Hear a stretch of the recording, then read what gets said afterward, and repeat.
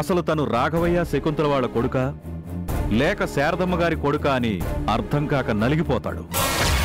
Yes Anand కన్ఫ్యూషన్లో ఉండగానే మనం బయటకు పంపించేయాలి. చాలా ప్లాండ్గా నాతో మాట్లాడుతున్నావని నాకు అర్థం అవుతుంది కానీ నీ ప్లాన్స్కి పడిపోవటానికి నేను నువ్వనుకున్నంత పిచ్చిదాన్ని కాదు నందిని. ఎంత గొప్పగా ప్లాన్ చేసావు నా మీద నింద పడుతుంది అని నేను భయపడిపోయి ఆ ఇంట్లో ఉంది సిద్ధార్థ్ కాదు ఆనంద్ అని చెప్పేయాలా? అలా చెప్తే మీ ప్రాబ్లం సాల్వ్ అయిపోతుందా? అంతేనా? నా కడుపులో ఉన్న బిడ్డకి తండ్రి ఆనంద్ కాదు సిద్ధార్థ్ అని నేనంటాను. ఏం చేస్తాం? అక్కడుంది సిద్ధార్థ్ అని కోర్టు డిఎన్ఏ టెస్ట్లో తేల్చేసింది. ఇప్పుడు సిద్ధార్థ్ నా బిడ్డకు తండ్రి అని నువ్వు నిరూపిస్తే జరిగే నష్టం నీకే నందిని. నువ్వు నిజంగా నా బిడ్డకి తండ్రి ఆ సిద్ధార్థ్ అని నిరూపిస్తే నేను అదే నిజమని చెప్పేస్తాను. నా బిడ్డ ఆస్తికి వారసుడవుతాడు. అవసరమైతే ఆయన్ని మోసం చేసి నువ్వు రెండో పెళ్ళి చేసుకున్నావని నేను కోర్టుకెక్కి మీ పెళ్ళి రద్దు చేసి నిన్ను ఇంట్లో నుంచి బయటికి గెంటిస్తాను. అప్పుడు నేను నా భర్త నా బిడ్డ ఆ ఆస్తిని హ్యాపీగా ఎంజాయ్ చేస్తూ ఉండిపోతాం. ఏయ్! నిన్ను! ఏమీ చేయలేవు నందిని. ఎందుకంటే నేను నీకంటే నాలుగాకులు ఎక్కువే చదివాను. నేను ఇన్నాళ్ళు తలంచుకొని వెళ్ళింది నిన్ను చూసి భయపడి కాదు. నా బిడ్డ మీద ప్రేమతో. ఎప్పుడైతే నా భర్త బతికే ఉన్నాడని తెలిసిందో నేను భయపడ్డం మానేశాను. ఒకవేళ నువ్వు నా మీద నిందలు వేసినా నేనేం ఫీల్ అవ్వను ఎందుకంటే నువ్వు నాకు సంబంధం అంటగట్టింది నా భర్తతోనే కదా. అది నాకు హ్యాపీనే. వస్తా?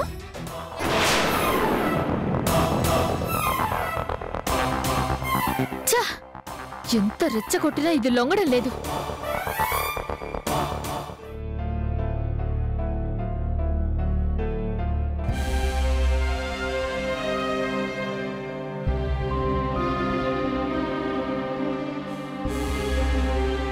అతను పచ్చి మోసగాడు. మన సిద్ధార్థ్ భావం చంపి అతని స్థానంలో వచ్చి మనల్ని మోసం చేస్తున్నాడు.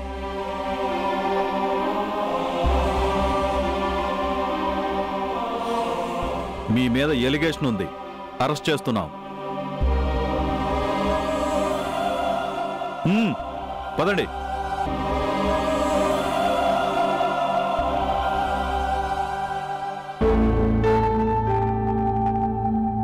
సిద్ధు?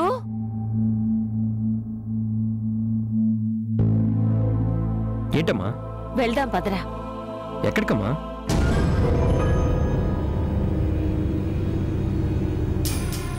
ఆస్తి నీ పేరున రాసేస్తాను. పద.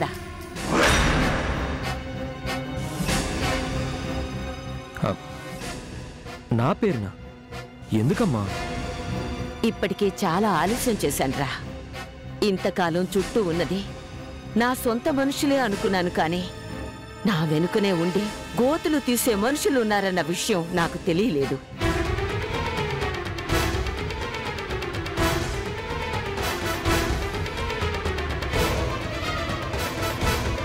ఇంకా ఆలస్యం చేస్తే ఏమేం జరుగుతుందో తెలీదు. ఈ రోజు నిన్ను సిద్ధార్థే కాదు అని కేసు పెట్టారు. రేపు ఇంకో ప్రాబ్లం లేపుతారు. ఆ తర్వాత మరొకటి. ఇలాంటివి ఆగాలంటే నువ్వు ఈ ఆస్తికి వారసుడు కావాలి. నేను లాయర్తో మాట్లాడి ఉంచాను. వెళ్ళి సంతకాలు చేస్తే చాలు. పద. అమ్మా నువ్వు రాయకపోయినా ఈ ఆస్తి నాది కాదా? చెప్పమ్మా. ఎవరు అవునన్నా ఎవరు కాదన్నా నేను నీ కొడుకునని కోర్టు డిఎన్ఏ టెస్ట్ చేసి డిక్లేర్ చేసింది. ఇక ఎవరు కాదంటారమ్మా?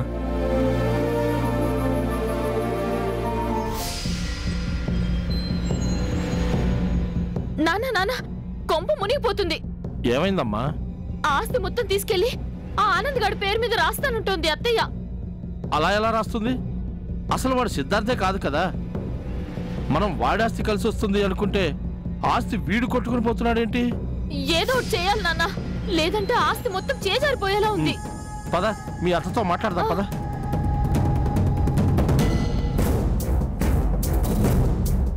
సిద్ధు ఈ ఇంట్లో మన చుట్టూ శత్రువులు తయారయ్యారా?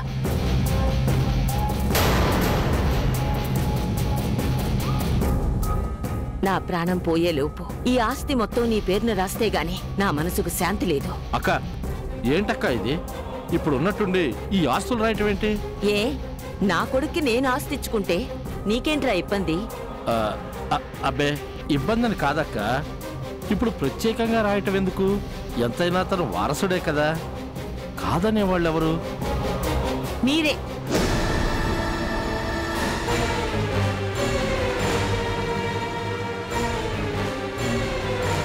వీడు నీ కొడుకే కాదని కోర్టుకెక్కారు కదా? ఇవాళ చేసిన పని రేపు మాత్రం చేయరనే నమ్మకం ఏంటి? ప్రతిసారి కోర్టులకు తిరగడం పరువు పోగొట్టుకోవడం నాకు ఇష్టం లేదు. అందుకే ఆస్తి రాసిస్తున్నాను. మేం కోర్టులో కేసు వేయడం వల్లే కదా తను నీ కొడుకే ప్రూవ్ అయింది. మేం మంచి చేశాం కదా అత్తయ్య?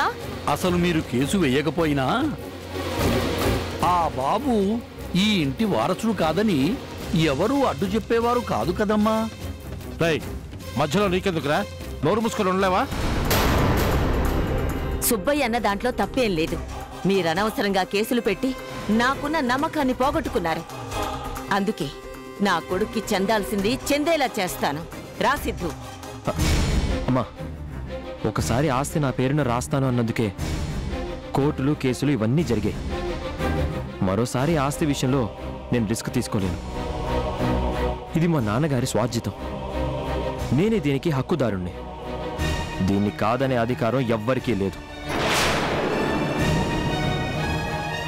నేను సిద్ధార్థనే అనడానికి డిఎన్ఏ రిపోర్ట్ ఉంది. ఇన్ని ప్రూఫ్లుండగా నా హక్కుని కాదనే దమ్ము ఎవరికుంటుందమ్మా? ఆస్తిని రాసే ప్రయత్నం మానుకోమ్మా. అది నాకెందుకో సెంటిమెంటల్గా నచ్చడం లేదు. సరేరా. నీ ఇష్టం. కానీ ఈ రోజు నుంచి ఈ ఇంట్లో ప్రతి ఒక్కటి నీ చేతుల మీదుగానే జరగాలి. నీకు తెలియకుండా ఒక్క పైసా కూడా ఎవ్వరూ తీసుకోవడానికి వీల్లేదు. అలాగేనమ్మా.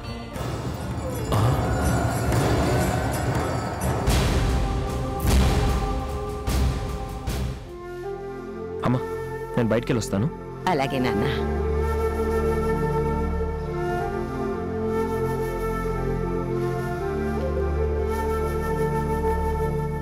బాబు ఎందుకు బాబు? ఆస్తిని మీ పేరున రాయించుకోలేదు. అది నాకు దక్కాల్సింది కాదు సుబ్బయ్య. సిద్ధార్థ్ ఆస్తి. అతనికే దక్కాలి. కానీ నువ్వు కూడా ఆ అమ్మ కొడుకువే తెలిసింది కదా బాబు? నేను తెలుసుకోవాల్సిన నిజాలు చాలా ఉన్నాయి సుబ్బయ్య. సిద్ధార్థ్ ఎక్కడున్నాడో అర్థం కావడం లేదు. ముందు సిద్ధార్థ్ ఎక్కడున్నాడో తెలుసుకోవాలి. ఆ తర్వాత నేనెవరినో తెలుసుకోవాలి. నాది కానీ ఈ ఆస్తి నాకు అవసరం లేదు సుబ్బయ్య. నాకు కావాల్సింది నిజాలు. ఊరికే వస్తుందంటే గుండు సూదిని కూడా వదిలిపెట్టని మనుషులున్న ఈ లోకంలో ఇంత ఆస్తిని రాసిస్తానంటుంటే నాకొద్దు అంటూ ఇంత నిజాయితీగా చెప్పిన నిన్ను దేవుడే అనాలి బాబు. బాబు నిజంగా నిజంగా నువ్వు దేవుడివే బాబు.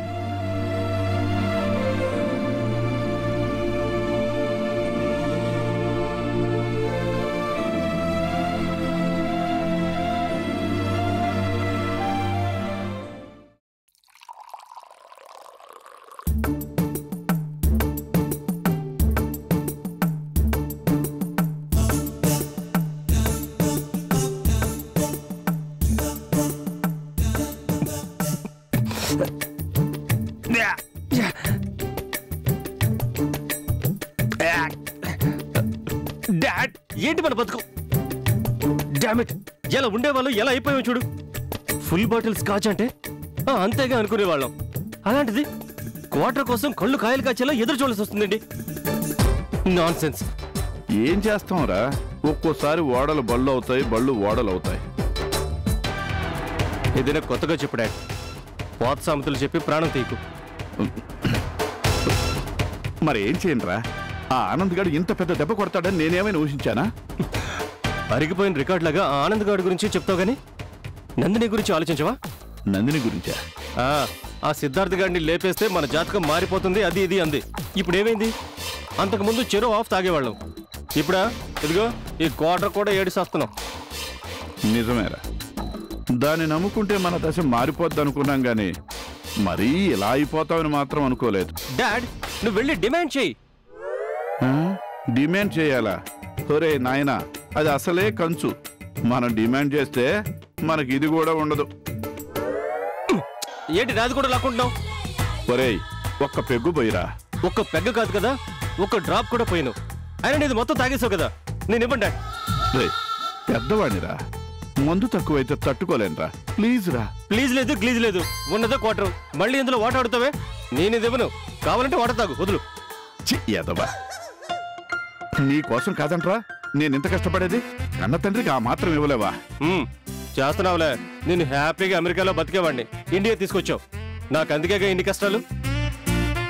అనవసరంగా నా లైఫ్ సర్వనాశనం అయిపోయింది. ఇప్పుడు చూడు వీసా కూడా అయిపోయింది. అక్కడ హ్యాపీగా ఏ బార్లో పనిచేసినా సరిపోయేది. ఒరేయ్ చేతులు వణుకుతున్నాయిరా.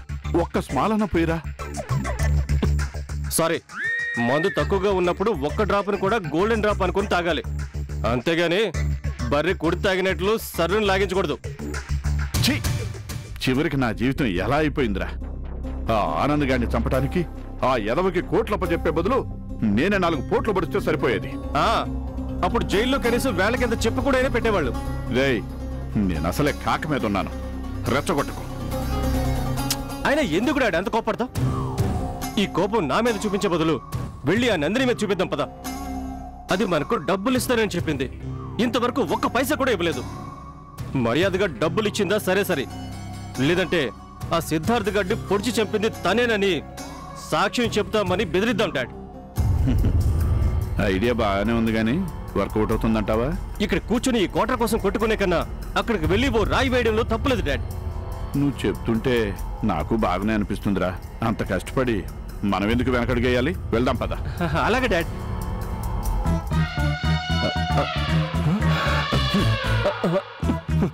డాడ్!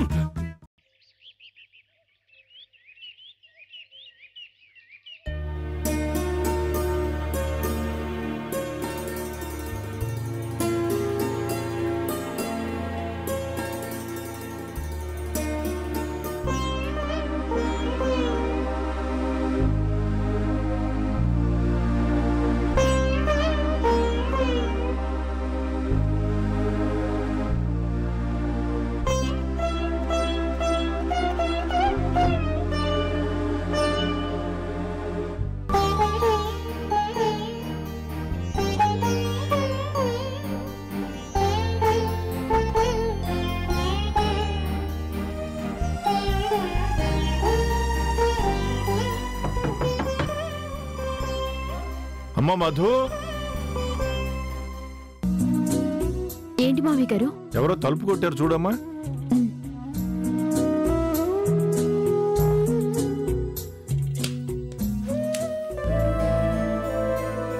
మీరా? ఏంటి సడన్గా ఇలా వచ్చారు? నాన్నతో మాట్లాడాల్సిన విషయాలు కొన్ని ఉన్నాయి. నాన్నున్నారా అత్తయ్య మామయ్య ఇద్దరు ఉన్నారు. సరే నేను వెళ్ళి మాట్లాడతాను.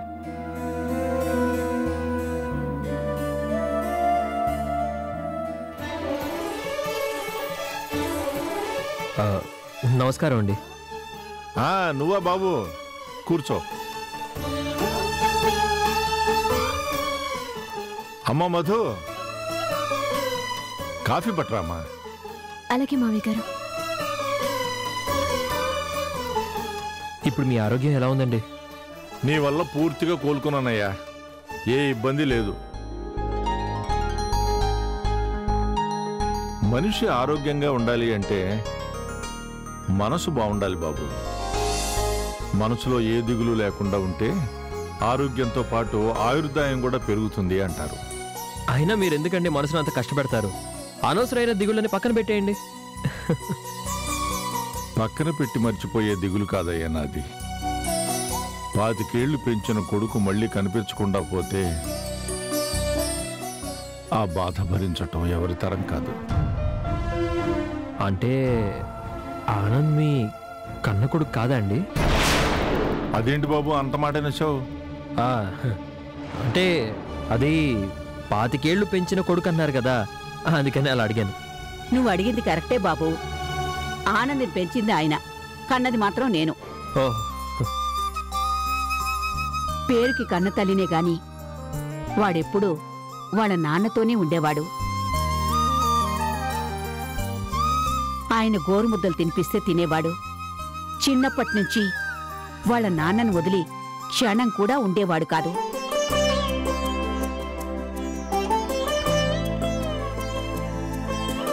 తొలిచూలు మగపిల్లాడు కావాలనుకున్నాం. ఎందుకంటే ముందు మగపిల్లాడైతే తొందరగా చేతికి అందొస్తాడు నా బాధ్యతలు పంచుకుంటాడు అనుకున్నాం. కానీ రెండో బిడ్డగా పుట్టాడు. నా ఆశలకు తగ్గట్లే పెరిగాడయ్యోయ్ చిన్నవాడిగా పుట్టినా ఇంటి బాధ్యతలో తలకు ఎత్తుకున్నాడు. నాకు కుడి భుజంలో నిలబడ్డాడు. కానీ అంతలోనే కడతేరిపోయాడు.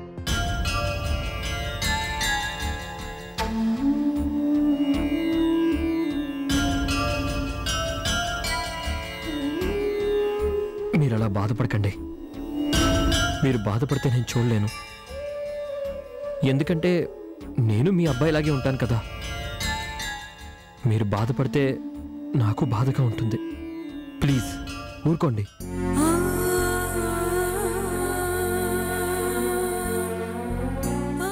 లేదులే బాబు. ఇక ఏడవడానికి కూడా నా దగ్గర కన్నీళ్ళు లేవు. ఏంటి సార్? ఈ ఆల్బమ్ ఎవరిది? ఆనందేనా? ఆ, అవును బాబు. అప్పుడప్పుడు అవి చూసుకుంటూ ఉంటాను. నాకు మిగిలింది అదేగా?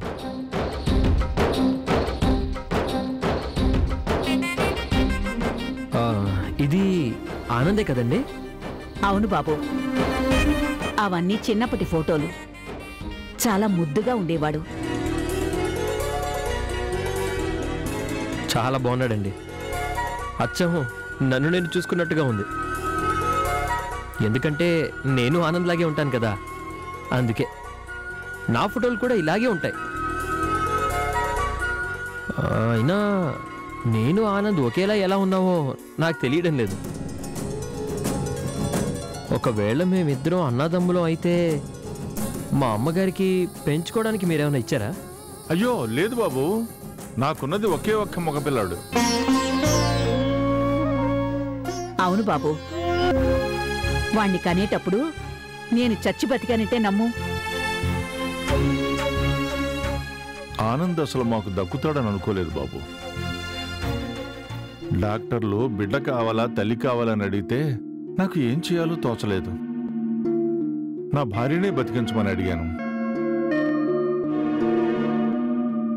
కానీ అదృష్టం కొద్దీ తల్లి బిడ్డ ఇద్దరూ బతికారు. నన్ను కన్నది వీళ్ళే. కవలలు కూడా పుట్టలేదు. మరి శారదమ్మ గారి కొడుకుని ఎలా అయ్యాను? పుట్టటమే గండాన్ని జయించి పుట్టాడు. కానీ ఈ వయసులో మా అందరినీ ఒంటరిని చేసి వెళ్ళిపోయాడు. అయ్యో మీరు మళ్ళీ బాధపడుతున్నారు. నేనే ఆనంద్ అని అనుకోమని చెప్పాను కదండి. మీ ఆనంద్ చనిపోలేదు బ్రతికే ఉన్నాడు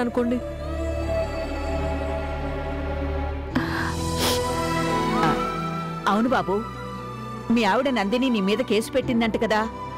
అవునండి పెట్టింది. నేను శారద గారి కొడుకునేనని కోర్టే తేల్చింది. అంతేనయ్యా. రక్త సంబంధాన్ని ఏ కోర్టు మాత్రం కాదంటుంది చెప్పు. ఎవరు ఎంత వాదించినా ఎన్ని మాయలు చేసినా కన్న తల్లిని బిడ్డని వేరు చేయటం కుదురుతుందా? నిజమేనండి. ఏ మనిషి ఎవరికి చెందుతాడో ఎవరు ఎవరికి సొంతమో నిర్ణయించేది రక్త సంబంధమే. దాన్ని ఎవ్వరూ మార్చలేరు. మారినా నిజాన్ని మాత్రం దాచలేరు.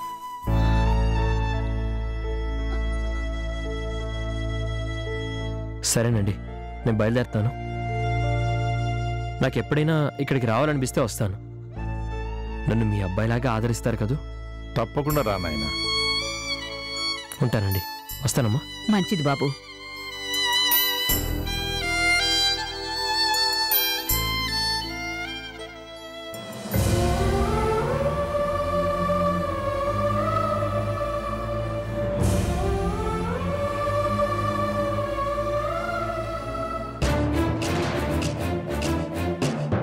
డాడ్ ఈరోజు ఏదైతే అదైంది తన దగ్గర మనం మొత్తం పేమెంట్ తీసేసుకోవాలి.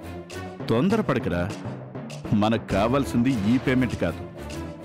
మెల్లిగా కంపెనీ తరపున చేస్తున్న కాంట్రాక్ట్లన్నీ లాగేయాలి. వాటి మీద వచ్చే డబ్బుతో పోలిస్తే ఈవిడిచ్చేది ఏ పటి ఆలోచించు. నిజమే డాడ్. కాంట్రాక్ట్ ఇస్తుందంటావా? లేక పని అయిపోగానే చేతులు దులుపుకుంటుందంటావా? చేతులు దులుపుకుంటే రాలిపోవడానికి మనమేం పొడిమట్టి కాదు బంకమట్టి లాంటి వాళ్ళం. పట్టుకుంటే వదిలించుకోవడం చాలా కష్టం. పైగా తను చేసింది మామూలు పని కాదు. చెయ్యకూడని పని కాబట్టి నందిని మనకు అన్యాయం చేయదు.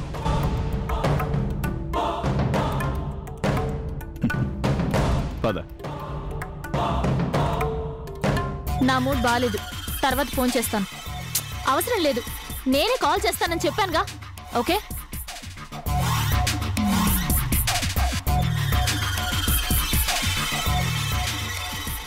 నమస్తే మేడం. మీరా? ఏంటి ఇలా వచ్చారు? అదే మేడం మీతో కాస్త మాట్లాడదామని. నాతోనా? నాతో ఏం మాట్లాడతారు? అయినా నాతో మాట్లాడడానికి ఏం మిగిలింది? అదే మేడం సిద్ధార్థని చెప్పడానికి మేము చాలా హెల్ప్ చేశాం కదా. మాకు ఇవ్వాల్సిందేదో మీరు ఇస్తారేమోనని అంటే మేడం అవతల నేను ఆ రౌడీలకి డబ్బులు కట్టాలి కదా మేడం. మామూలుగా అయితే అవన్నీ నేనే చూసుకుని ఆ తర్వాత మీ దగ్గర తీసుకునేవాడిని కానీ మా పరిస్థితి బాగలేదు కదా. అందుకే మిమ్మల్ని కాస్త ఇబ్బంది పెడుతున్నాం. మీ డబ్బులు ఎప్పుడో ఇచ్చేదాన్ని. కానీ ఆ సిద్ధార్థ్ గాడి ప్లేస్లో ఈ ఆనంద్ గాడు వచ్చి అన్ని రూల్స్ పెట్టి చచ్చాడు. ఇదివరకు అట్లా డబ్బులు ఈజీగా రావడం లేదు. అలా అంటే ఎలా మేడం? రిషి నువ్వుండు. అసలు ఏమైంది మేడం? ఆనంద్తో చాలా ప్రాబ్లంగా ఉంది. కోర్టులో వాడు శారదమ్మ కొడుగ్గా డిక్లేర్ చేశాక ఇప్పుడు వాడు ఏం చేయలేకపోతున్నాం? మా మీదనే పెత్తనం చెలాయిస్తున్నాడు. ఏం చేయాలో మాకు అర్థం కావడం లేదు. అసలు కోర్టులో వాడు ఆనందం తేలితే ఆఫీస్ మొత్తం నా హ్యాండ్ ఓవర్లోకి వచ్చేది. ఆ కళ్యాణ్కి ఇచ్చిన రిజర్వాయర్ కాంట్రాక్ట్ ఆపేసి అది మీకే ఇద్దామనుకున్నాను. కానీ అంతా రివర్స్ అయింది. నిజంగా మీ చేతికి అధికారం వస్తే ఆ కాంట్రాక్ట్ మాకు ఇస్తారా? తప్పకుండా ఇస్తాను. కానీ వాణ్ణి ఆనంద్గా మీరు నిరూపించగలరా? అదెంత పని మేడం? మేము సాక్ష్యాధారాలతో సహా నిరూపిస్తాం.